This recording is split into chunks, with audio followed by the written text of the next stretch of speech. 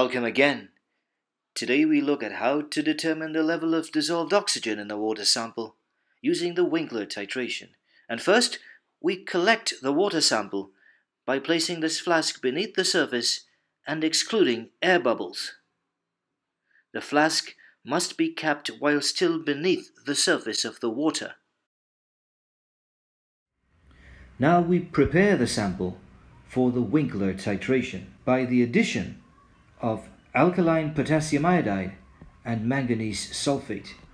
Once we perform this addition immediately upon collecting the sample, then we need not worry about oxygen dissolving from the outside because manganese ions react with hydroxide ions to first produce this part of the precipitate, which then reacts with or fixes all of the oxygen in the sample as this precipitate. And here we divide this equation by 2 to simplify the calculations later on, showing that half a mole of oxygen is used to produce 1 mole of this precipitate. Next, we ensure that the entire sample is reacted then sulfuric acid is added to the precipitate and a gold color begins to develop.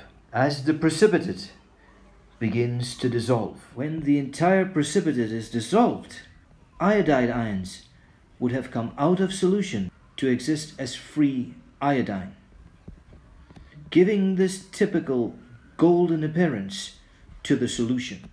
This equation summarizes the process with one mole of this solid tied to half of a mole of oxygen, being acidified and releasing these iodide ions as one mole of I2.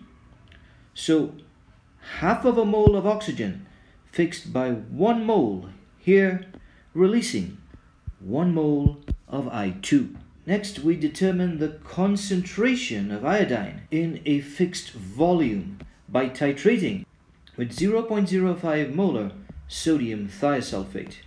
And here, 1 mole of free iodine reacts with 2 moles of thiosulfate to once again produce 2 moles of free ions. Just before the endpoint of the titration, starch indicator is added, and this characteristic blue color fades to this colorless appearance. And now it is possible to titrate and to determine the amount of I2 and then to determine the amount of oxygen. Finally, we can convert the moles of oxygen per dm or per liter to grams per liter, which is the same as saying parts per thousand. And then dividing by a thousand, we can convert parts per thousand into a final answer of parts per million. And this is the most commonly used unit for expressing the levels of dissolved oxygen in water samples.